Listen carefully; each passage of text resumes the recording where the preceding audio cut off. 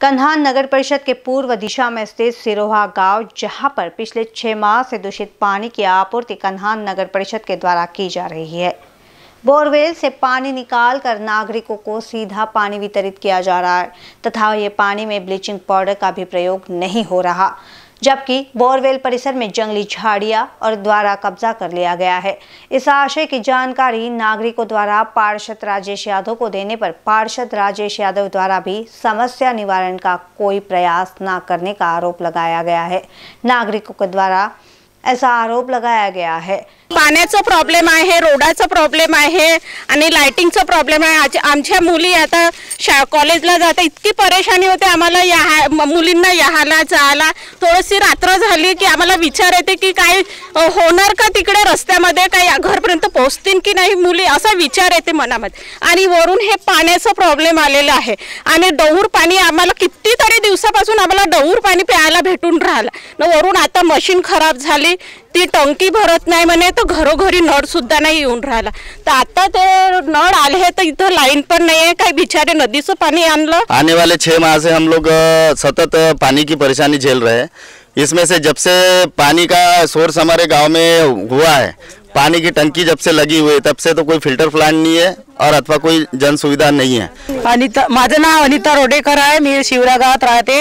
आणि ह्या गावामध्ये वर्षातून दोन तीन वेळेस असे कधी पायपाचं गडर पाणी येते कधी पायप बळकते कधी मोटार बळकते ती पंधरा एक महिन्याशिवाय सुधरत नाही. स्थानिक नागरिकों के अनुसार कन्हान नगर परिषद वार्ड क्रमांक सिरोहा में रोड, पानी, बिजली की समस्या पिछले कई सालों से है, जिसमें नगर परिषद प्रशासन मौन सात कर आँख मूंदे बैठा है, जबकि बोरवेल की वर्तमान स्थिति यह है कि जो पानी की टंकी चार घंटे में भर जाती है, वही पानी की टंकी वर्तमान समय में 24 घंटे में भी नहीं भर पा रही है।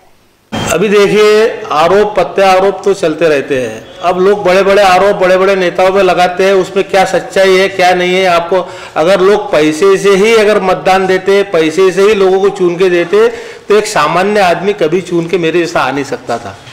मैं आज 93 से ग्राम पंचायत से लेके अभी तक मैं इस नगर परिषद, ग्राम पंचायत पंचायत समिति का नेतृत्व कर रहा हूँ और लोग मुझे जानते हैं कि भाई ये आदमी राजेश यादव क्या चीज़ है करके। मैं काम के भरोसे विकास के भरोसे चुन के आता हूँ। और मैंने क्या नहीं किया क्या करता हूँ क्या नहीं है मुझे ये सब चीज़ें बताने की आवश्यकता नहीं है। और जो लोग ये जो आरोप मेरे पे लगा रहे हैं ये तो ज, ज, जनता का भाई क्या बोले लोकतंत्र है कोई किसी को कुछ भी बोल सकता है। लेकिन ये जो मुझे जो मतदान जो मिलता है जो मतदान मुझे लोग देते हैं ये मेरे विकास कामों के मेरा एक लोगों से जो प्यार है प्रेम है जो मेरे लोगों से जो रिलेशन है, विकास के कामों को लेके, अपने संबंधों को लेके, इस वजह से लोग मुझे चुन के देते हैं। ये बाकी सब चीज़ें हैं, ये बकवास की बात है इसमें कोई तथ्य नहीं है।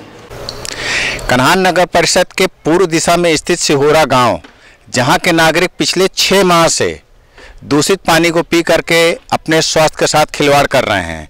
इसको लेकर के कन्हान नगर परिषद के पार्षद नगराध्यक्ष से लेकर के सभी को जानकारी देने के बाद भी कन्हान नगर परिषद प्रशासन पूरी रूप से सोया हुआ है। जबकि स्थानीय नागरिकों ने यहाँ तक आरोप लगाया है कि स्थानीय कारपोरेटर चुनाव के समय पैसे देकर के चुनाव जीते हैं, यहाँ तक का उल्लेख करते हैं। यहाँ के नागरिकों को आने वाले समय में कब शुद्ध पानी मिलेगा? इसको लेकर के सिहोरा वासियों की निगाहें कन्हान नगर परिषद की ओर लगी हुई हैं। कैमरामैन विवेक पाटिल के साथ विमल त्रिपाठी बीसीएन न्यूज़ कन्हान। इन बीसीएन न्यूज़ के लिए कन्हान से विमल त्रिपाठी की रिपोर्ट।